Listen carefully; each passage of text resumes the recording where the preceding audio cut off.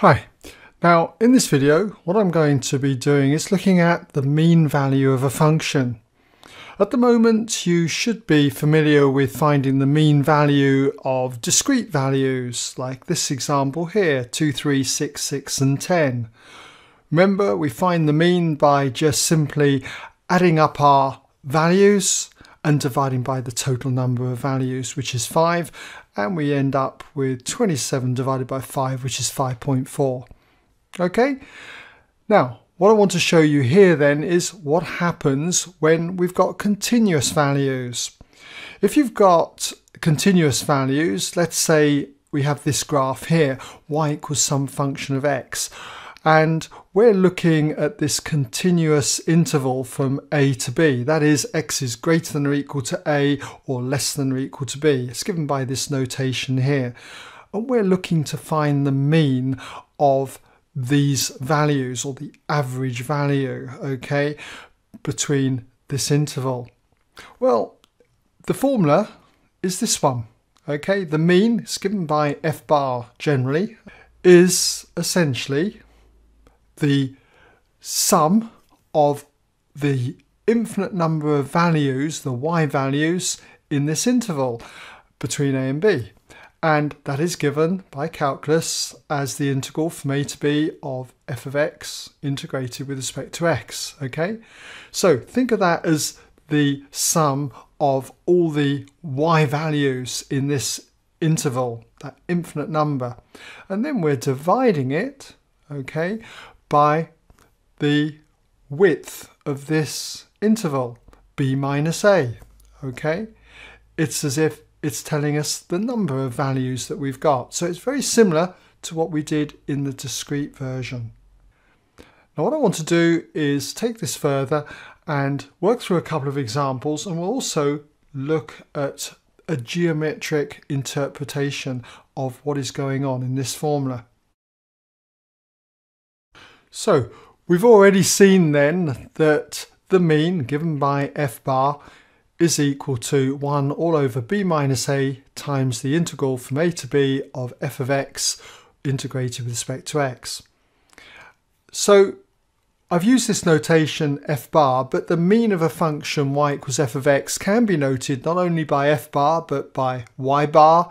Sometimes you'll see f avg, short for average, okay?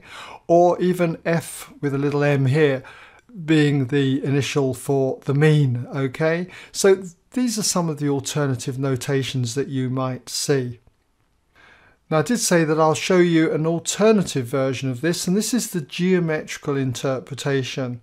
If we had our graph y equals some function of x, okay, over this interval from a to b, then the mean, f bar, is going to be somewhere between this lowest point here and this highest point here.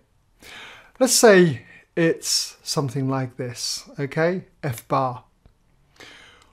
What is happening is that if I was to shade this area below f bar, okay, it's a rectangle, okay, then when we're looking for this mean, we want the area below the curve, okay, to equal the area under the rectangle.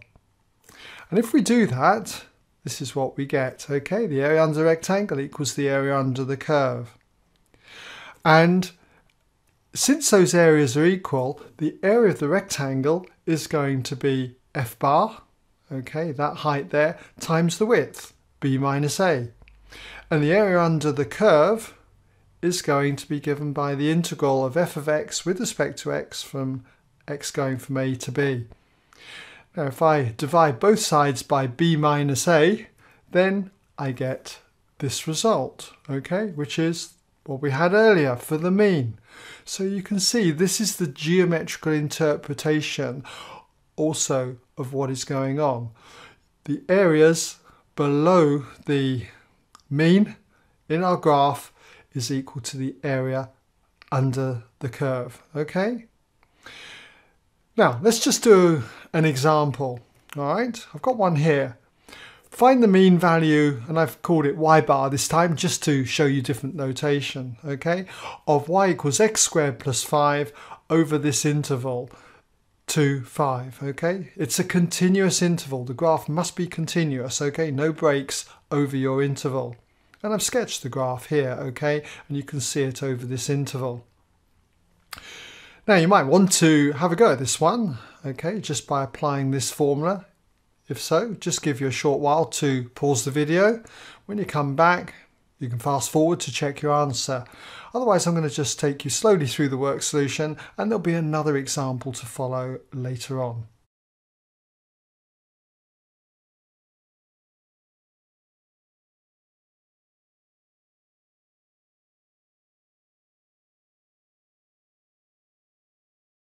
Okay, welcome back then if you had a go. So don't forget you can fast forward if you want to check your answer.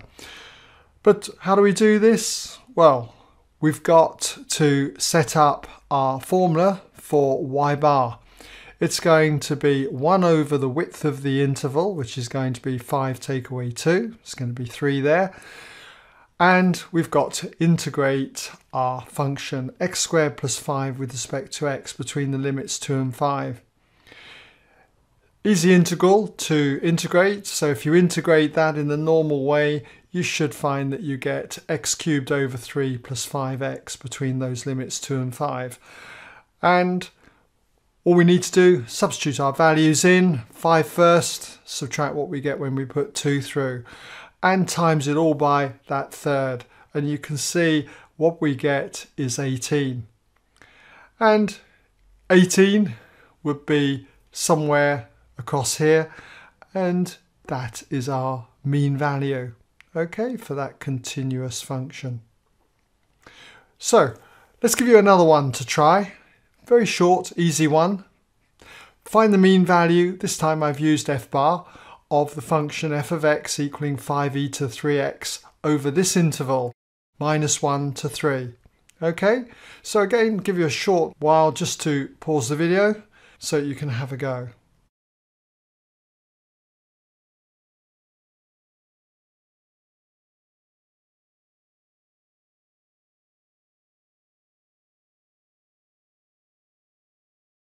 Okay, welcome back then. If you had a go, let's see how you got on.